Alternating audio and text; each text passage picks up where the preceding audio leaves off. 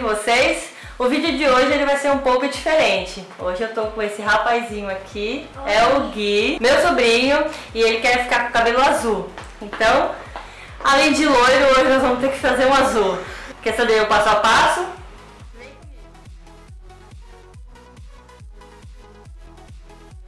O cabelo já tá cortadinho, pronto já. Agora eu vou começar a passar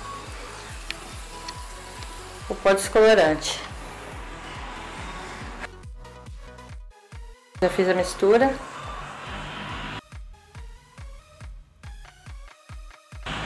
É um de pó para dois de AX. Vamos começar. Esse resultado já é depois de 20 minutos que eu passei o produto.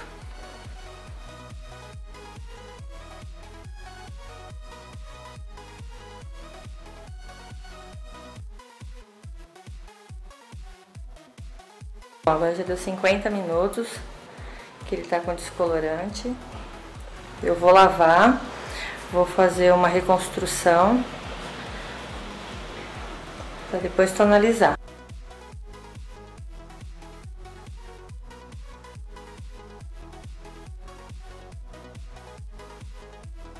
Bom, esse aqui foi o resultado do cabelinho azul que o Guilherme queria.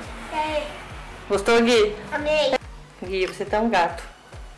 Deixa eu te ver. Ai, meu Deus do céu. Coisa mais linda. Deixa eu te ver desse lado. Vem pra cá. Tá filmando?